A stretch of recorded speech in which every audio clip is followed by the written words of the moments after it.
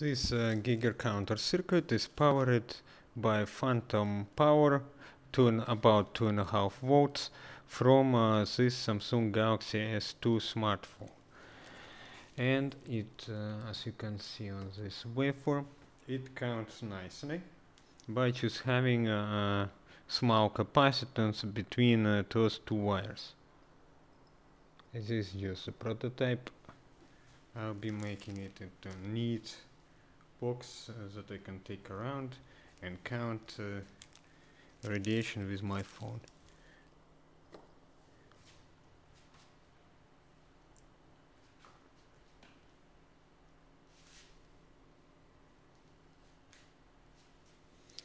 Uh, this is an old uh, watch with a radium dial. It's slightly radioactive and it's useful for testing.